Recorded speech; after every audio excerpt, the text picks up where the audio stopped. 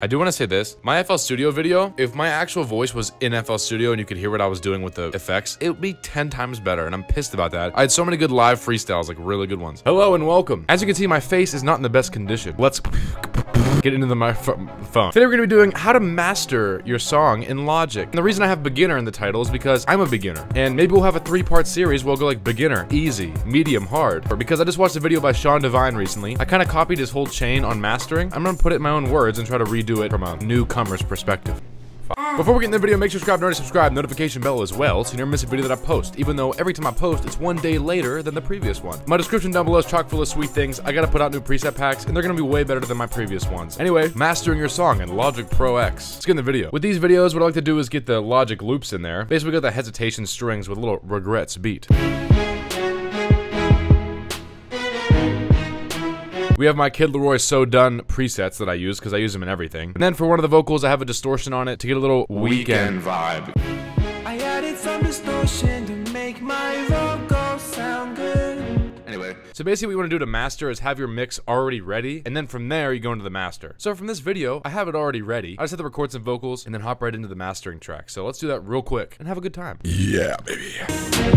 I was in the back, you know, writing in my office. Bitches on my and they telling me to stop this. I was playing music in the back in the chimney.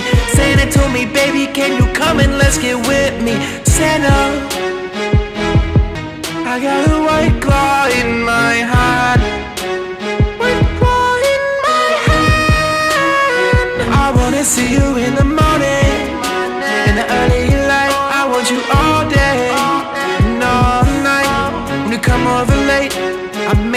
for you. I got some chips all on the floor, and I got babies making soup. I got babies in the back. I said I got babies in the back. Got babies in the back, and I never what to say. I'm ready on the floor, racing. My GPA eh, is 0.5. Remember that one? Hey, we recorded what we had to record. Now, what we can do, bring out the mastering track. So basically pretend that we have created our tracks and we've made our song and we mixed it. I don't like the word dick.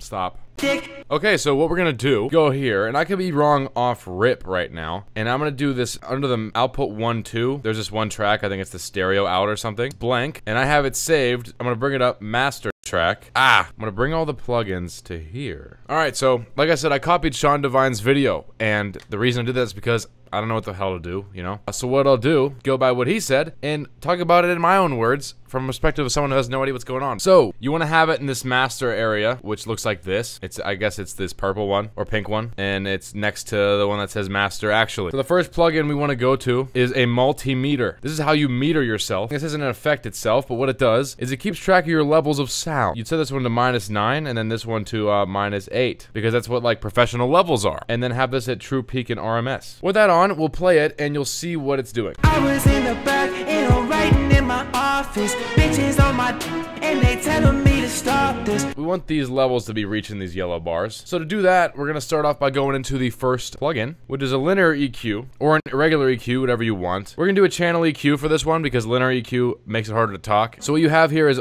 everything going on as you play it. We want to take away some bad sounds, some muddy sounds that are still there.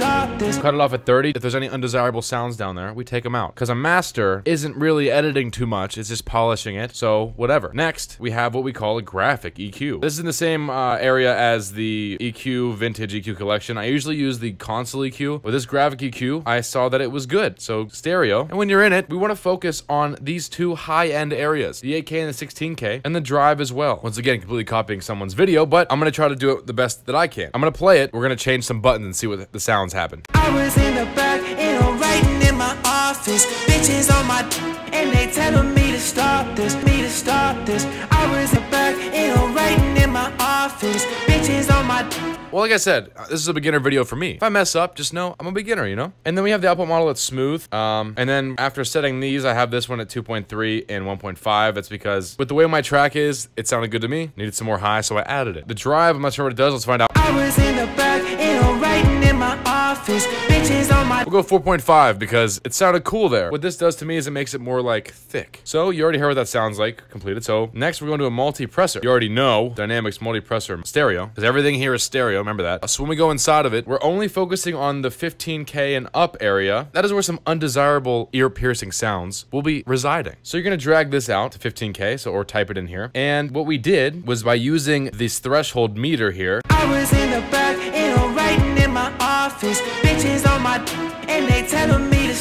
We just pull it down to negative 36, basically. It's going to compress any harsh sounds like that, and then make the ratio really high to 30. Double click, you can change it. Once again, copying someone else's tutorial. You can look at the output, too. I was in the back, you know, writing. Okay, minus two worked for me. Just make sure it doesn't peak, because that'll ruin everything. Close it. You already heard it play, so let's go to the next one. Exciter. I use this in my chains as well. Um, this is a crispy plugin. It's specialized exciter stereo. And now that we're in it, let's see what the frequency does. I have it at 7500 at plus seven, but Know, writing in my office. Bitches on my and they telling me to stop this. Bitches on my and they telling me to stop this.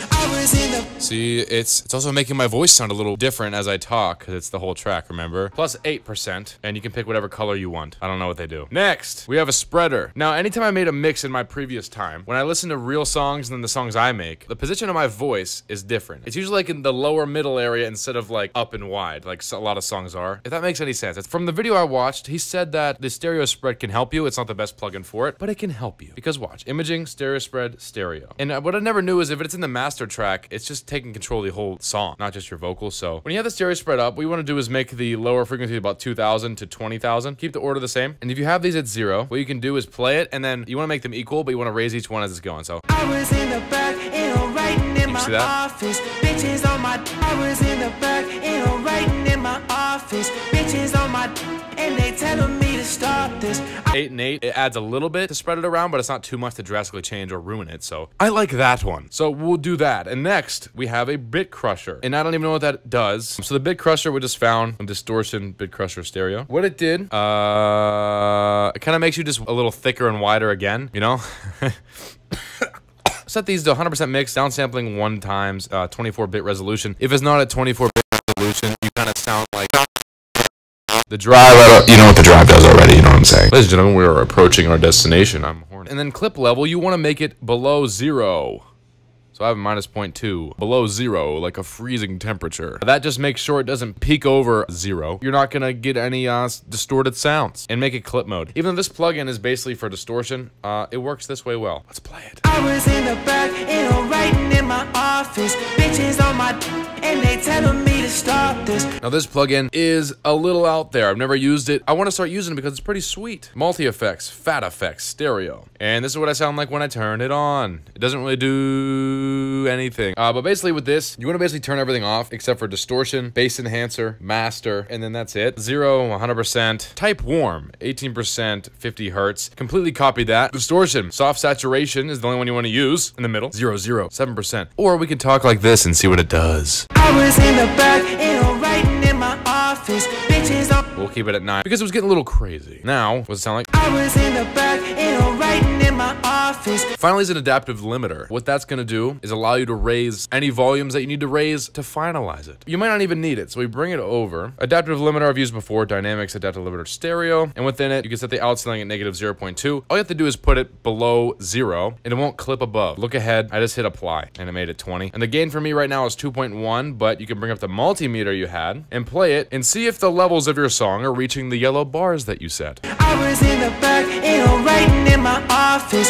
Bitches on my and they telling me to stop this. It's not reaching it, and also it's getting a little distorted. So I made the out ceiling minus one, and I put on true peak detection. I was in the back, you know, writing in my office. Bitches on my and they telling me to stop this. What am I doing wrong? Let's see what a compressor will do. You know, writing in my office. Bitches on my and they telling me to stop this. Dude, I don't know. But this is what it sounds like naked and with it on. So, like this. My and they telling me to stop this. I hope that made sense. So look at the unmaster. I mean, hey, it doesn't look too bad. And then the same one, look at it. As you can see, the unmastered one doesn't really take up all the space. And the mastered one is just kicking it with all the space. So we'll play both and see what it sounds like. And they telling me to stop this. I was playing music in the back, in the chimney. If you ain't cheating, you ain't trying. Well, that's about it for me. Hope you guys enjoyed that video. Learned something as well. And if you didn't, cool. Anyway, yeah, um, that is my first attempt at mastering a song. And I did it by copying someone else's video. Next video, I'm gonna do it completely alone. And we'll see what I can do and see what I can figure out. Like I said before, make sure you subscribe to subscribe notification bell as well. And also my description down below is chock full of sweet things you should check out. Drop a like down below, leave a comment, tell me what I should do, what I should do next. I've neglected the comments the past two videos. I'm sorry. Thank you guys so much for watching and sticking with me. This has been a crowd about how to master your song beginner mode and Logic Pro 10 is only stock plugins. Like always, yeah.